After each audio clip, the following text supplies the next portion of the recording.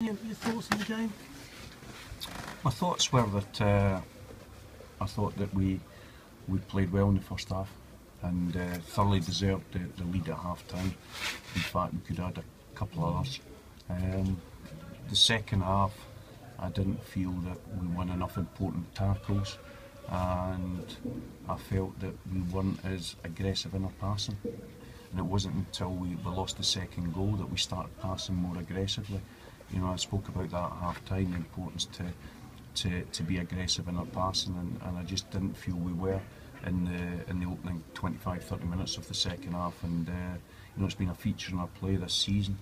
But uh, it's a it's a it's a disappointing result and it's a setback. But uh, the one thing is that we, we have to keep believing in what we're doing. We have to keep believing in the, the, the methods because we're a very good side.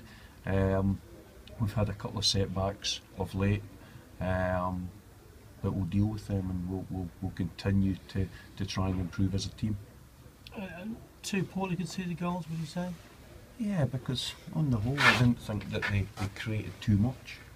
You know, I thought that, uh, you know, in the first half we were very good in our defending. And um, in the second half, bar one that was flashed across the goal, you know, I didn't think that they created too much. And that's a disappointing aspect because, you know, um, to lose a game where you don't give up many opportunities is obviously disappointing. But uh, you know that's football, and we we we've, we have to deal with that. But the two real aspects are winning more important tackles and uh, and second half passing more aggressively.